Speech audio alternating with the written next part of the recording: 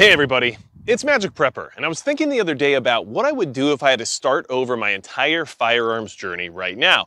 If I had to start with zero guns, what would I buy first, and how would I progress from there, especially with an emphasis on preparedness? And that's something that I wanted to share with everybody because early on in my firearms journey, I made a lot of mistakes, and I bought stuff that wasn't sensible and didn't really help me get any further prepared. So I thought maybe by sharing this information, it would help you make better decisions down the road that I could have benefited from as well, okay? Now, I'm not not some kind of firearms expert or anything like that, but it's just something that I enjoy and I think that it is relevant to preparedness, especially when we're talking about remaining on a budget. You don't want to waste money and waste funds on things that aren't actually accomplishing what it is you're trying to do. So, the very first gun I would buy, if I had to start over, let's say I'm either a brand new gun owner and I haven't bought anything yet, or maybe I lost everything in a house fire and I have to restart the collection, right? The very first gun I would buy is going to be a handgun. And I think that's the most obvious one. And I would buy something that isn't too large, but is still capable of being in the realm of like a duty pistol. So something that's not too small either. You don't necessarily want a pocket gun, but you do want the ability to conceal it. And why I say that is because Generally with a handgun, you're gonna have it with you more often than any other firearm you can possibly think of because you can actually carry it on your body hands-free and you can hide it in case you need to conceal it or if you're trying to legally conceal carry or whatever it is. And in general, you're gonna find yourself using a handgun more often than any other firearm for self-defense scenarios. Not to mention, it's much easier to go out and train with handguns when it comes to indoor ranges and the typical ranges people have access to. Um, so I would start with a good high quality handgun. And this is a SIG P365X Macro. This is a 17 round capacity slimline firearm. It's basically a micro nine millimeter that allows you to carry it very easily, but when needed, you can still shoot it very comfortably because it has a full-size grip, 17 round magazine, like I said, uh, allows you to put a light on it, you can put an optic on it, so it kind of gives you everything you would want out of a larger size duty pistol, but with the ability to carry it more comfortably and conceal it. And even in an SHTF scenario, especially in like some sort of transitionary period, you're likely going to have your handgun on you before going overt with some type of a rifle or a long gun, right? So honestly, if I was gonna start everything over, the very first gun I would buy is a nice concealable handgun, most likely a double stack nine millimeter pistol because nine millimeter is relatively affordable. You'll get out to the range more, you'll train more, and you'll learn more with it. And you can use it for self-defense in a multitude of different scenarios, including home defense, which some of the pocket guns aren't necessarily very good at in regards to something like a Ruger LCP, where maybe it's in 380, so you have less ballistics mixed with a very limited magazine capacity, and you can't hold on to the grip very well. So there's a lot of reasons why this would be a better option, or something similar to this, like a Glock 19, or maybe a SIG M18, or something along those lines, even like an M&P Compact from Smith & Wesson. Whatever it is, as long as you get a handgun that's serviceable and can actually provide you with the level of protection you're looking for, that's the first thing I would buy. And personally, right now, if I were to buy one, it would actually be a SIG P365X macro because even though I really like my P320 and I like my Glock 45, this is so much easier to carry that I find that I have it on me more often than any of those other handguns, which means that even in a preparedness situation, there's a good chance I'll still have it on me. Not to mention it already has a 17 round capacity, so nothing wrong with that. Now, one thing that I want to mention is the very first gun I ever bought was a Mossberg 590 Cruiser 12 gauge, right? Which means it was a 12 gauge shotgun with an 18.5 inch barrel and a pistol grip. So it was super impractical. And yes, it did the job. And of course, if I ever needed to use it for self-defense purposes, it would definitely take care of whatever was in front of it. But it wasn't the best option for being able to go out and practice with. It wasn't the best option for trying to do anything dynamic with. It just really wasn't a great gun in general. So try to avoid those mistakes. And another thing you can do when it comes to handguns is you can get a very large handgun like a Desert Eagle, right? Or something like that. Uh, my first handgun was a Smith & Wesson 686 Plus Pro Series, which has a five inch barrel. Awesome revolver, 357 Magnum, you can't go wrong. But it was way too big to conceal carry. And then when I finally got a concealed carry permit and I started wanting to actually learn defensive handgun use, I started to find out quickly that that revolver really wasn't gonna fit the role that I had hoped it would. So avoid getting anything too big or too small. Get into that duty size double stack nine millimeter. Like I said, Glock 19 is really a good standard to kind of go, go by when it comes to like size and capability and then just move on from there. Okay. So hopefully that gives you some things to think about. Now, Once I have that nice handgun that I, is reliable and I know I can use for self-defense and home defense and everything else, I'm gonna move into something that's more utilitarian. Now, this is gonna be controversial because on this channel I have often talked about the fact that I don't like how much emphasis is put on 22 long rifle in the preparedness community for SHTF style situations. Now, I've never said that it didn't have utility, and I've never said that it isn't worth having. All I was trying to say is that a lot of people will look at the 22 long rifle as being the only rifle you need. And depending on the situation or the environment and the level of danger that's presented by that environment, that might not be a good answer for you, right? And then you'll get anecdotal evidence from everybody's uncle and cousin about how they've shot a elk in the eye with it from 1200 yards away and dropped it in 0.4 seconds without having to track anything, right? So you'll get all that evidence as to why that's the only thing you need. But regardless of all of that, a 22 long rifle is a good utilitarian functional firearm to have for preparedness purposes and not just for hunting small game and things of that nature, but mostly for practice and getting that time in. And this more applies to those new gun owners out there. So more so than losing all your firearms collection in a fire, right? If I'm a brand new gun owner and I just bought a handgun, right? So now I've got that squared away and it's of a defensive caliber. It's not a 22, it's a nine millimeter or something greater, but I would suggest nine millimeter for a lot of reasons. Either way, now what's next? Well, Everyone will probably assume it should be like an AR-15 for a lot of reasons, which makes sense. However, if you don't have any rifleman background, if you haven't shot rifles at all, you have no marksmanship in your background, learning those fundamentals on something that's much easier to learn on is going to help you greatly once you graduate to that next level. And that's what I've found with the Ruger 1022. So that's why you see that right here staged behind me on the back of this truck, right? And go ahead just to kind of show you here, but this is a rimfire 22 long rifle, and it is a 16 inch barrel that is very inexpensive. And one thing that I like about Ruger 1022s is that when I bought this, it was $200. And that's before I put it into a new stock and before it had the optic on it or the bipod. But bare bones from the store, it was like 200 bucks. Now I think the same exact model, which is just their standard Ruger 1022 carbine model, is like 300 bucks. Okay, so still very affordable for something that's tried and true and reliable to a degree as long as you maintain it properly. So Ruger 1022 would probably be the second gun I would buy, even though I've harped on 22 long rifle for so long and so often, but for reasons that are outside of the realm of just building fundamentals and building a firearms collection on your journey towards preparedness, right? It's hard to argue the utilitarian aspect of 22. It's hard to argue with the 1022 when it comes to logistics of being able to get aftermarket parts, magazines, and everything else. And it does have a track record of reliability. So yes, I use this rifle quite a bit around the property here, um, but I just wanted to dissuade people from assuming that you'll only ever need this rifle when it comes to kinetic involvement involvement with maybe people who wish to do you harm, okay? So regardless, for the price, for the affordability of the ammunition, for the ability to practice and the ability to build those marksmanship fundamentals, the second gun I would get is a Ruger 1022. Now there's one way that we could possibly jump across this whole barrier and just kind of skip the 1022, and that would be more for those who were the ones who lost their firearm collection in a house fire, right? So not for the brand new gun owner. This is what I would suggest for a brand new gun owner who has no time behind a rifle at all, right?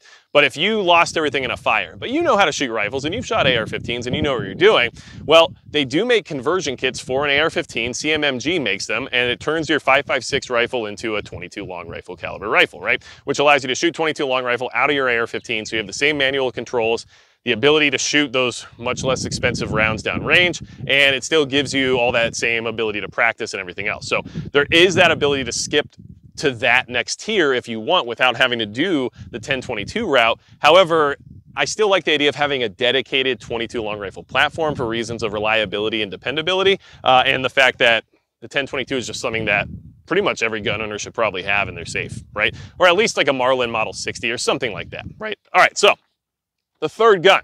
Because now that I've got my fundamentals down, I've got plenty of ammunition to practice with, and I can actually learn how to use iron sights and kind of get all of that basic stuff out of the way. The third gun I would buy, which is, this is not the order I went in originally. So trust me, I would have saved a lot of time, money, and effort if I would have done this correctly in the beginning. But the third gun I would buy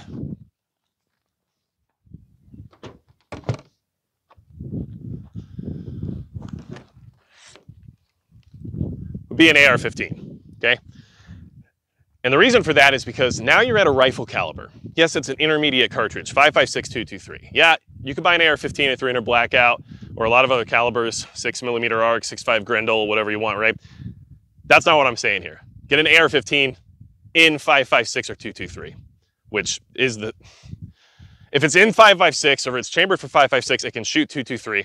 If it's chambered for 223 Wylde, it can shoot both of them as well. If it's chambered for just 223 Remington, I don't know why you even are getting that, but you're not supposed to shoot 5.56 out of that at that point. Hopefully that made sense. Anyway, get a 5.56 AR-15, okay? Because you can shoot 5.56 or 223 out of it, and now you have a rifle caliber that will allow you to reach out, hit targets, defend yourself properly. You have the same type of ammunition that's used by NATO and the military, which means that it's effective to a degree, and it's also available logistically, right? Uh, and it is a much easier round to train on and learn how to be a rifleman in many ways because it has lower recoil, but it's still reaches out five, 600 yards, no problem. Some loading, 77 grain OTMs. You know, you can reach out further with better ballistics and ballistic coefficients. But for the average person, a new gun owner, just getting a 5.56 AR-15 and then buying some cheap M193 or whatever cheap 223 you might want and getting on the range and actually using this and shooting it will teach you a lot and get you ready for actually protecting yourself. And then can still get other things done in the sense of utilitarian uses, like putting meat on the table. Yeah, 5.56, probably not the best choice for taking medium-sized games, but it can definitely be done. And it can definitely fill that role if. Now, I do need to mention that the biggest supporter of the channel is Midway USA. And Everything they do for me here on the channel helps me get better prepared, especially when it comes to getting out here on the range, being able to get rounds down range, practice, and acquire more gear and equipment for making sure that my firearms can provide me with the capabilities that I'm looking for. Well, Midway USA has helped a lot in that department. So a big thank you to them for making that possible and for supporting the preparedness community in general. Now, by getting an AR-15, you've now got your pistol, You've got your 1022 for utilitarian purposes and learning, and that 1022 taught you all the fundamentals of marksmanship and shooting a rifle, and now you've upgraded to the next level of caliber and capability with your AR-15. So this is the third gun I would buy, and of course, all decked out like this is probably not gonna be the, the initial place you end up, but even if you just got something super basic with a front sight post and a carry handle so you could just have those iron sights and get going with it, go ahead and get started, right? Or if you get a flat top, you just have a rail and you throw a red dot on there for, I mean, you can get decent ones at this point in time for, you know, $150, $200, right? Just go for it. And then you have just set yourself up for success when it comes to preparedness related just about anything, all right? That's the order I wish I would have bought my guns in. Nice handgun for self-defense and home defense. 1022 to get all those fundamentals down and have utilitarian purposes of pest control and whatever else.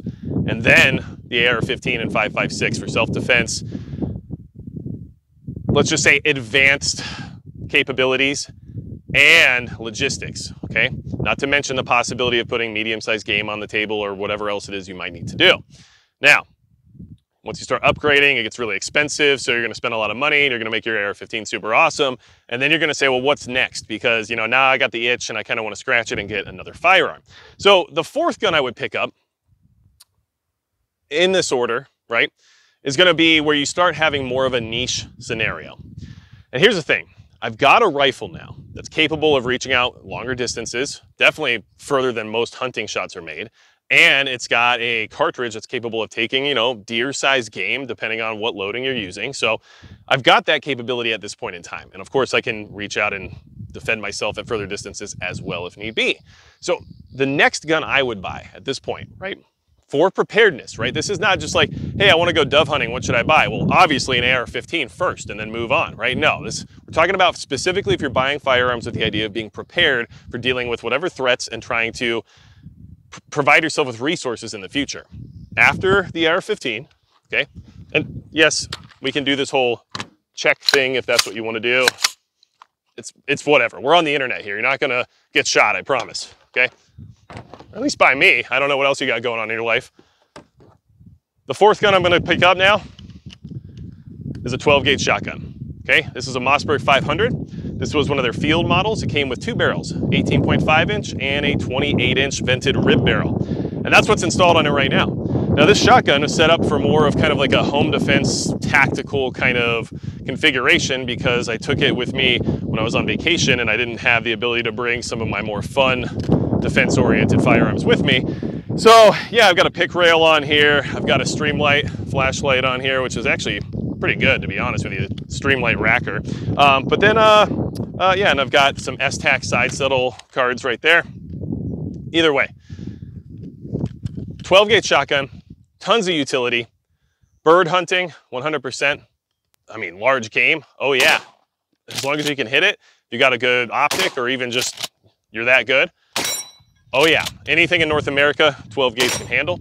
Uh, you need to breach a door, sure, go for it, right? I mean, the 12 gauge is ubiquitous with America. I don't know what else to say about it. And a Mossberg 500, at least in my opinion, at this point in time, buying brand new was is a better option than a Remington 870 just because of all the turmoil that Remington has gone through as a company.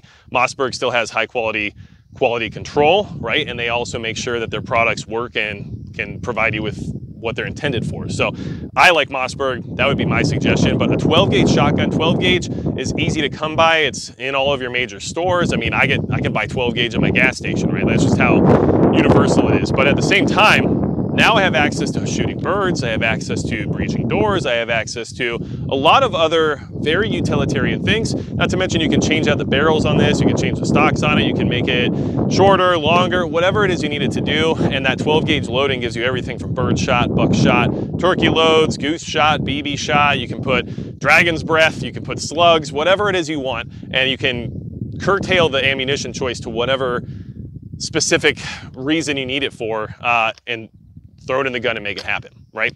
So 12 gauge would be the fourth gun I would buy. Now, obviously, look, if your goal is to go out and do skeet shooting, then you're, you're just gonna get a 12 gauge shotgun probably right off the bat. But I'm talking about specifically for preparedness purposes, what order would I have bought my guns in? Like I told you before, the very first gun I ever bought was a Mossberg 590. It was not meant for hunting. It was not meant for really anything other than looking cool. And uh, I just didn't know anything about anything at the time when I bought it. So I wasted money buying that shotgun when I could have had something a lot more practical and capable. And instead, that's what I ended up with. So that's why I'm having this conversation with everybody because I honestly think that this is the order I would have done better for myself in. And then I would have had access to all those capabilities in a tiered way that still made sense up until the point where you don't have to cover those bases anymore, okay? So after the 12 gauge, what's the last thing that I would put on this list of, you know, getting all my bases covered and then moving towards whatever I want to get then, right? Like just buy whatever you want after this. But for preparedness purposes, trying to make sure you have a little bit of everything you want and then what order to get them in. Well, now that I have that more niche utilitarian function out of the way, the next thing I would get, and gee, do you guys, you guys, you guys don't care, right? I'm just making sure. But that sound feels good, right? The next thing I'm gonna pull out, and the next thing I would suggest, is then you're gonna niche down and have some type of long range rifle capability. And the only reason I say that is because having like a it doesn't have to be bolt action. It can be gas operated. There's plenty of AR-10s and you know SCAR 17 and everything else that's out there right now in 308 or 65 Creedmoor that can do the same job as a bolt action relatively anyway, right? We're not talking about precision long range shooting necessarily. We're just talking about being able to reach out further than your average distances that what the 5.56 rifle can handle and having that magnification that allows you to see what it is you're trying to look for much further, right? So this is where we're niching down finally. So we got all our bases covered on everything else, and then we pull out a 308. This is a American, uh, a Ruger American Predator in 308, which means it has kind of a heavy contour barrel, and it's only an 18 inch barrel, which is kind of interesting for a bolt action. But this thing runs no problem at all. And this is a budget rifle. I mean, you can get a Ruger American Predator in 308 for like 450 bucks, brand new. Like these are good rifles for how cheap they are. And they're not cheap, they're inexpensive. Sorry, I misspoke there. But the reason I would say that this is the fifth thing I would buy is because now you have something that you can go out and take deer with without having to question whether or not you're going to be able to uh, drop the deer as quickly as you would like. You can go out and elk hunt hunt just about anything in North America with a 308. You can also reach out much further when it comes to some sort of defensive scenario in a SHTF event, right? So this will get you out to a thousand yards much easier than the 5.56 ever could, right? And you still have access to plenty of ammunition if you choose a NATO style caliber like 308 Winchester, which in NATO terms is 7.62 by 51. And of course, The loadings are slightly different, but in general, you can shoot both cartridges out of your 308. So that's where I would end up on because now you're at advanced marksmanship level. You've already had experience with your 1022. You got to experience your 556 now, and now you have a much larger cartridge that has all of the negative compromises that a larger car cartridge brings with it, right? So more recoil and having to work on that flinch once again, okay? okay. but regardless, this adds a little bit of that extra capability to the mix, right? A much longer shot is now more reasonable to make. Uh, what it will do once it reaches its target is a lot more capable. And you also have the ability to have a I guess, let's just say a designated way to make sure that anything you have to reach out that far for is going to understand that it no longer is going to do what it wanted to do to begin with. Does that make sense? I'm just going to leave that there and just let that be something you can ponder on. Either way, that's the order I would have bought these firearms in. And look, this is really inexpensive, so it makes you feel like, well, man, if I can get that Ruger American Predator for 450 bucks, and that AR is you know, for a decent one might be $900, $1,000. Like I almost just want to get the bolt action first, right? And I understand that, especially if your goal is to go deer hunting. But if we're talking about just for preparedness purposes, that AR-15 can technically hunt deer, right? Not to mention you could just get a different upper for it and throw a 6.5 Grendel upper on it, and now you can definitely hunt deer, or a six millimeter arc upper on it and definitely hunt deer, or even 300 blackout. You can now more easily hunt medium-sized game with certain supersonic loadings, right? So the AR-15 really still covers all those bases, but now we're talking longer range with more energy on target once it reaches it, which means that capability becomes more reasonable to actually access, all right? And that's the order I would do things in now if I would redo everything once again. And that's just my opinion. But honestly, I, I, wasted so much money and bought so many impractical things in the beginning because I just really wasn't sure what it was I was trying to accomplish or what even these firearms brought to the table in the sense of capability. And now that I'm aware, well, now I can make better decisions as to whether or not, you know, the money is worth spending for that capability or for that base to be covered. And if you're just starting out, this might be a good route for you to take, but everybody's situation's slightly different. So not everybody's gonna have the same exact needs or environment or anything like that. So, you know, you do have to try to cater to your specific needs. But I mean, when you're just starting out, nobody's telling you that either. You're just trying to go off of what makes the most sense to you in your head. And honestly, I can just say this from personal experience that a lot of what you're thinking is probably dumb because that's what I was doing in the early days of my firearms journey, making a lot of dumb decisions. So, and you know, one more time, just for all the people out there who just like to make sure that I don't know what that, I don't know what we're doing with that, but I think it's just trying to promote good habits. But either way, that's the, the route I wish I would have taken in the beginning. Would have saved me money, saved me time, given me more capability. Man, you know how much more time I would have spent on an AR-15 and learning that manual of arms and getting efficient with an AR if I would have had that as my third gun I ever bought? I would have been way better at it. And of course, at the time I lived in California, so everything was very neutered, but there were still ways to make things work. And that was not the third firearm I owned. So had I gone back, I'd probably be a much more proficient shooter at this point in time. I probably would have wasted a lot less money and uh, I'd be a lot more ready for whatever scenario is coming our way that is likely coming our way. So let me know if you have any questions for me. Leave comments down below. Uh, there are things that we, you know, try to discuss if you want to check out the Subscribe Star page. It's five bucks a month. Uh, I definitely have preparedness incentives over there. I send out things like morale patches and stuff like that. It's kind of just fun, but it's five bucks a month. It's for having like a close-knit network that helps to support the channel and I don't know, help me pay for ammunition because it's not cheap and man, I've been shooting a lot lately. Uh, but that's just something we do over there. Uh, and then if you need anything else from me, go to magicprepper.com. And besides that, it's gonna be it for Magic Prepper.